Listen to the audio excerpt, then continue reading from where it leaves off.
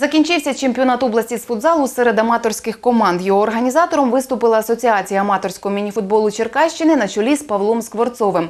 Учасники визначали найкращих у двох лігах. У підсумку турніру вищій лізі виграв Комфорт Плюс, а у першій лізі переможцем став Гетьман.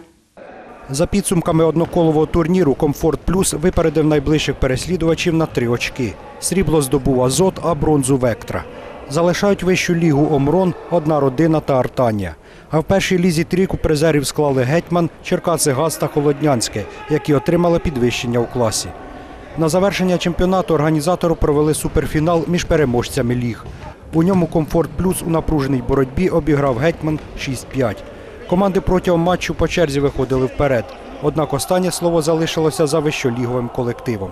Вы прекрасно видите, что по сравнению с прошлым годом мы добавили, количество команд увеличилось почти в два раза, и уровень самой игры э, вырос. То есть я этим очень доволен. Після завершення поєдинку переможці та призери змагань отримали кубки, медалі та грамоти.